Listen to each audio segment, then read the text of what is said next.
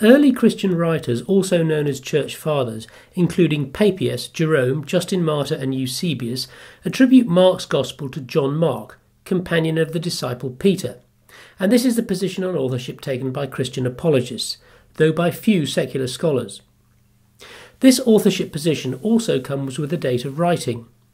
No early Christians give us the date of writing exactly, but if their evidence is taken as reliable, then it can be inferred from the sequence of events that they recount that Mark was probably written in the early 40s AD, when John Mark, Peter's companion, was pressured into writing it by Christians in Rome. And he completed this task in Rome or in Italy and Rome. Apologists do find some support for this theory in the theology expressed in Mark, which is distinctly pre Pauline, in that Jesus is not a god, he has minimal supernatural power and has no saving utility or role in vicarious atonement, all of which ideas come from Paul, who was writing from the late 40s to the late 50s. This is true, but it is also true that Paul shows absolutely no awareness of Mark, so one being unaware of the other doesn't really help tell which came first. Apologists complain that the origin of the Gospel of Mark is better attested to by more witnesses who were closer in time to the writing of the Gospel than almost any other ancient literature, and yet scholars willingly accept these other reports but reject reports about the New Testament in general and Mark in particular. Which is true, they do, and here's why. Secular scholars find several objections to the Church Fathers' scheme. First, Church Fathers were not independent witnesses. Some cite Papias as their source for the origin of Mark, and those who don't probably got the story indirectly from him. It is argued by apologists that the Church Fathers were widely scattered around the Roman Empire, and they infer from this that they were independent sources. But that seems unlikely, as they could and did cite each other's work and corresponded with their contemporaries. The second objection to the Church Fathers' scheme is that Papias appears to have been talking about Gospels other than the ones that we know, and his comments were erroneously associated with our Gospels by later ancient Christians. In the case of Mark, these objections are not quite as strong as they are in the case of Matthew. As we saw in my video on the authorship of Mark, one of the reasons for rejecting Papias is that he tells us that the Matthew he's familiar with was written in Hebrew, whereas we know that our Matthew was written in Greek, a positive inconsistency. But in the case of Mark, there is no such positive inconsistency. Rather, there are the more subjective assertions by Papias that Mark was written out of order, and his choice of words that suggest that his mark was a list of sayings rather than a narrative gospel as the mark we know is. Well, Mark does contain some of the sayings of Jesus, and the out of order thing could date back to a competing, now lost chronology. So the ancient Christians' dating of Mark may be suspect, but it does not collapse in the way that it does for Matthew. A third objection to the Church Fathers is that they were generally unreliable witnesses, following an evangelical agenda of proselytization rather than recording reliable history. The upshot of all this is that there is an all or nothing effect with the Church Fathers. Scholars either accept or reject their evidence en bloc without much eclectic selection between the two extremes. Accept them, and Mark was written by John Mark, friend of the disciple Peter, in the early 40s AD reject them, and we don't know when it was written or who wrote it. In the latter case, other clues to dating are available. In simple terms, Mark must have been written after the dates of events or the commencement of reigns that it cites, and it must have been written before the first time it was cited unambiguously. John the Baptist is mentioned by Josephus, and from what he says, we can determine that John was executed before the mid 30s AD an event that Mark's aware of. Mark is also aware that Pontius Pilate was the prefect of Judea, a post assumed in 26 AD, and Herod Antipas, also known to Mark, reigned from 4 BC. So, together, Mark must have been written no earlier than the early 30s and no later than when it was first cited, which was in about 180 AD. A pretty wide range. There are a couple of passages in Mark 13 that inform dating, and one of these concerns this generation. Whether or not Jesus existed, the writer of Mark placed his life in the first third of the first century AD. The writer also recounts that Jesus said that this generation will not pass. before he returned to earth to set up his kingdom. Now, about 80 generations have passed since then, and there is no sign of his return yet, and this has led Christians to rationalise what Mark meant. But to secular scholars, it certainly appears that the intention at the time was to communicate the idea of an early return. And the relevance to dating is that you wouldn't expect the author to say this if writing at a time when the generation that heard Jesus had passed or was rapidly passing. If that argument is accepted, it puts a limit on the time of writing. At the extreme, this would be about 90 AD, as the date when there would be almost nobody alive whose adult lifespan overlapped that of Jesus. But that would be pushing it, because towards 90 AD, the credibility of the prophecy would be low and its expiry date imminent. For the right combination of durability and impact, we would expect a substantial proportion of people who listened to Jesus as adults were still alive when Mark was written. The argument neatly lines up with the 40s AD and is starting to become rather strained by the late 60s and 70s, where Mark is more conventionally dated. But it's still feasible at these dates. This brings me to the second passage and the most important one for dating Mark. Mark 13 tells us what Jesus said about the coming war and the destruction of the Jerusalem temple. Here are the relevant bits starting at verse 1. As Jesus was leaving the temple, one of his disciples said to him, Look, teacher, what massive stones, what magnificent buildings. Do you see all these great buildings? replied Jesus. Not one stone here will be left on another, every one will be thrown down. As Jesus was sitting on the Mount of Olives opposite the temple, Peter, James, John, and Andrew asked him privately, Tell us, when will these things happen? And what will be the sign that they are all about to be fulfilled? Jesus said to them, Watch out that no one deceives you. Many will come in my name, claiming, I am he, and will deceive many. When you hear of wars and rumours of wars, do not be alarmed. Such things must happen, but the end is still to come. Nation will rise against nation, and kingdom against kingdom. There will be earthquakes in various places and famines. These are the beginning of birth pains. You must be on your guard. You will be handed over to the local councils and flogged in the synagogues. On account of me, you will stand before governors and kings as witnesses to them, and the gospel must be first preached to all nations. Whenever you are arrested and brought to trial, do not worry beforehand about what to say. Just say whatever is given to you at the time, for it is not you speaking, but the Holy Spirit. Brother will betray brother to death, and father his child, Children will rebel against their parents and have them put to death. Everyone will hate you because of me, but the one who stands firm to the end will be saved. When you see the abomination that causes desolation standing where it does not belong, let the reader understand.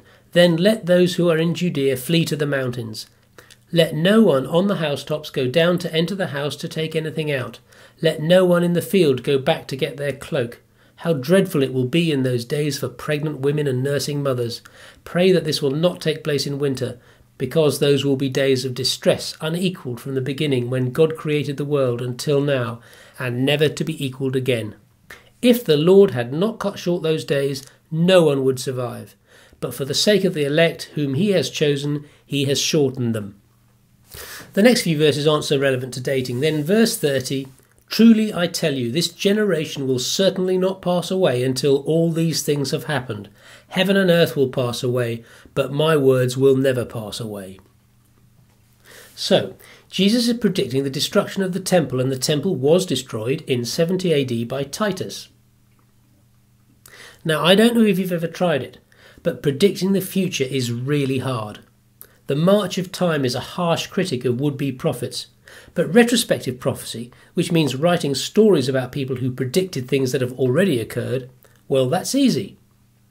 So Mark's accurate prediction of the destruction of the temple in Jerusalem leads many scholars to believe that it was written after the temple was destroyed.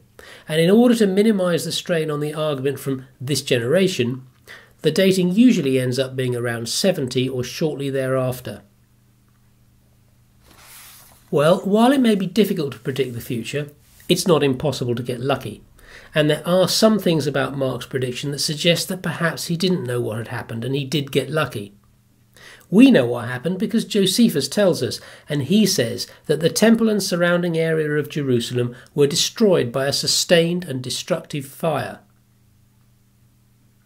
Fires lead to roofs falling in, but they don't tend to lead to thick masonry walls falling down. So that's not a particularly good fit with Mark's one stone will not be left on another. Actually, his prediction has not come true even today, assuming that is that you accept the conventional view of where the temple was located, which is contested, and also assuming that Jesus was referring to the whole area rather than just the temple. It hasn't come true because part of the western retaining wall of the Temple Mount still stands. Compare this situation with the Gospel of Matthew. The chapter in question is Matthew 24, and much of it was copied virtually verbatim from Mark 13, but it follows immediately after the end of Matthew 23, which has this to say, speaking of teachers of the law and Pharisees. And so upon you will come all the righteous blood that has been shed on earth, from the blood of righteous Abel to the blood of Zachariah the son of Berechiah, whom you murdered between the temple and the altar. Truly I tell you, all this will come on this generation. Jerusalem, Jerusalem, you who kill the prophets and stone those sent to you, how often I have longed to gather your children together as a hen gathers her chicks under her wings, and you were not willing. Look, your house is left to you desolate. For I tell you, you will not see me again until you say, Blessed is he who comes in the name of the Lord. The reference to their house being left desolate seems to be looking back to the destruction, and there are a couple of other similar passages in both Matthew and Luke which also appear to be looking back to the events surrounding the fall of Jerusalem in 70 AD. But these are missing from Mark. And of course, temple destructions were not new to either Jewish prophecy or to Jewish history, and it is possible that Mark got the idea from somewhere else prior to 70 and got lucky. These problems with the post 70 AD dating of Mark have led some scholars to concede a date range that starts earlier, generally from the mid to late 60s, when the Judeo Roman War was already underway, hence wars and rumours of wars, and, they argue, the ultimate destruction of the temple could be more reliably predicted. Maybe, but it would still be a lot harder than predicting it after the fact, and rumours of wars is hardly specific. If the 70 AD argument is watered down this way, I consider it no longer strong enough to displace the early Christian dating. So personally, I feel the issue dichotomizes into the 40s AD or the early 70s, rather than there being a significant possibility of Mark dating from the 60s. Now, these dates are not discussed in isolation, but rather each school fits their dating into their narrative explanation of the origin of the Jesus story. We've already seen the apologetic narrative that simply follows the Church Fathers. The secular historicist position generally dates Mark to the early 70s and relates the timing of the appearance of Mark to the dates of Jesus' life, usually citing one or both of two reasons.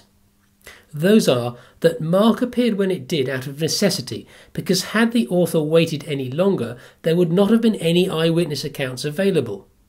Jesus' generation and his disciples in particular were already dying off. The other reason is that it appears that the very early church believed that the return of Jesus would be imminent. Mark and all of the synoptic gospels mention two prophecies which imply that the return will be within the lifetime of Jesus' hearers, and therefore perhaps the early church did not feel the need to witness for posterity. But as those who had listened to Jesus died off, early Christians had to revise the time frame of their eschatology, and the need for witnessing to posterity arose. These two mechanisms differ, but both anchor the timing of Mark to within one human lifespan of the dates of a historical Jesus. On the mythicist side, there is no corresponding automatic time frame from which to develop the narrative, because there was no earthly life of Jesus. This does not make it necessary to replace the early life of Jesus with other historical events that got the ball rolling, because if it was going to happen, it had to happen sometime, whether or not we're able to discern why it was at this time and not that time.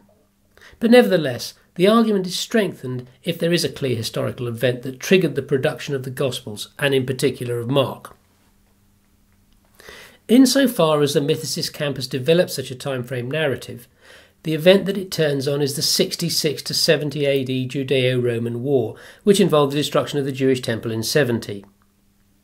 That obviously produced a major social and religious upheaval, quite enough to provoke some religious rethinking. However, there is one thing to be careful of, and that is that I've noticed when this argument is put, mythicists often place a Christian rather than a Jewish spin on Jewish belief. A simplified version of the argument is that salvation in Judaism was at the time totally dependent on atonement for sin achieved through animal sacrifice in the temple. And that following the temple's destruction, this route to salvation, the only one available, was permanently curtailed, and therefore there was a desperate and urgent need for an alternative. Ergo, a freehold purchase rather than an annual rental scheme. And what will be the price of such a purchase? And the rest follows. That's very neat, but this scheme assumes a theology of original sin. That is, sin that you are unable to avoid committing and for which you are incapable of atoning, and have therefore to depend on some form of vicarious atonement. If the standard means of vicarious atonement is annual animal sacrifice at the temple, its curtailment brings a serious spiritual crisis. The problem is that Jews do not and did not subscribe to this theology at all. Animal sacrifice was not the only means of being right with God. It was actually a minor part of the scheme of Jewish religion. And curtailment of animal sacrifice did not plunge the entire Jewish nation into certain damnation. Therefore, while the outline of a scheme and timing of the gospel narratives in relation to the Judeo Roman war is quite feasible, it's not quite as neat as some would have us believe. And notice that this scenario involves, as is often the case, quite a bit of speculation. Maybe there was a group to whom this was a significant religious upheaval who responded with Christianity. We don't know anything about that specific group, but maybe. Now, to show how easy it is to create this kind of speculative scheme, I'm going to come up with one of my own. I'm not promoting it as a possibility. I'm simply showing how readily a narrative structure can be fitted around facts that are sparse. So, suppose the timing of the appearance of the Gospel was related to the death of a generation of historical figures, and that generation was the pillars of the church, or Peter and Paul and their contemporaries and that the reason that the Gospels only appeared after the death of that cohort is because the Gospel writers did not agree with the pillars and seized the opportunity when their opponents were out of the way. Their disagreement with the pillars may have been either because they, the Gospel writers, conflated a historical preacher with the God about whom he preached, or else they concocted an incarnation narrative to fulfill a particular theological purpose, that being to lock down doctrine. A problem there is, of course, that the traditional way of locking down doctrine was for God to send a prophet, not to turn up himself. So, to sum up, the authorship and the date of the Gospel of Mark is attested by more witnesses who were closer in time to the writing of the Gospel than virtually any other ancient work. These witnesses were the Church Fathers, and they have John Mark, companion of the disciple Peter, writing Mark in the 40s AD. But the fathers were not all independent of each other. The story may have originated with just one of them, Papias. Furthermore, there's a strong suspicion that what Papias was talking about were works other than the Gospel of Mark that we now have, and that Papias's comments were confused with our Mark later. And lastly, the Church Fathers were pursuing an evangelical agenda, rather than attempting to be objective historians like Herodotus. For these reasons, most secular scholars reject them. This leaves us with the This Generation text, which sits comfortably in the 40s and is feasible but somewhat strained in the 70s and seriously strained thereafter. Finally, there is the destruction of the temple, which is a strong steer to a post 70 date, with some reservations because Mark's description isn't quite what we learn from Josephus. However, trying to compromise and allow a date of writing in the 60s draws the argument's teeth, to the extent that, to my mind at least, we default to the 40s rather than the 60s. So, weigh the evidence carefully and reach your conclusion. Well, the problem with that is you probably won't reach a firm conclusion. So I suggest that you start by deciding what it is that you want to believe. Then you trawl through the sources seeking evidence to support your view. After all, that's what everybody else does.